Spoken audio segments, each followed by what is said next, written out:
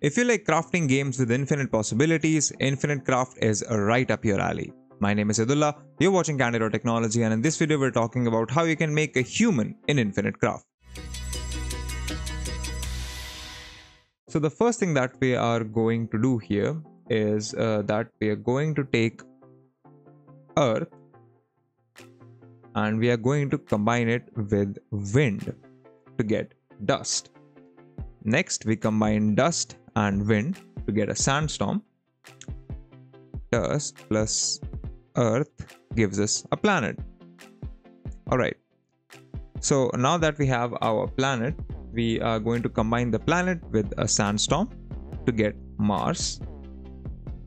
Earth plus Mars is going to give us life, and then Earth plus life is going to give us a human. And that's how you make humans in Infinite Craft. If you like this video, consider subscribing, give us a thumbs up, press the bell icon and tell us in the comments below what more such content can we make for you. If you'd like to know more about tech, visit our website candid.technology, follow us on social media, follow me on Instagram or Twitter and we'll see you in the next video.